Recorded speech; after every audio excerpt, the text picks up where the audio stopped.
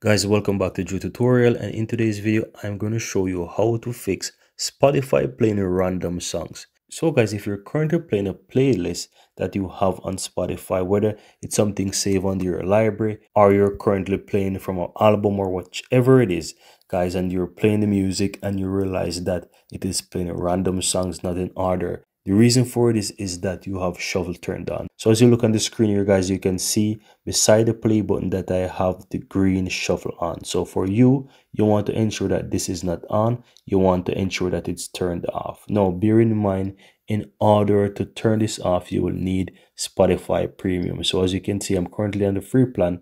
So once I tap on that, it will show me that I need the premium. So you need to have Spotify premium. But once you have the Spotify premium and you tap on that, you'll be able to turn this off. And how you know when it's off is that it will turn into gray, just like the download button on the right hand side. As you can see here, it's currently grayed out. So once you turn that off, you'll be able to see that it's gray. And that's how you do it, guys. Very easy and very simple.